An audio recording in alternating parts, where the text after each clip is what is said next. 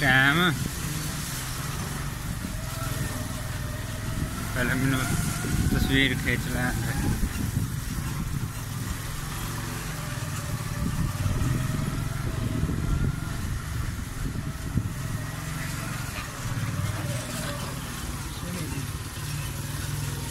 ਹੈ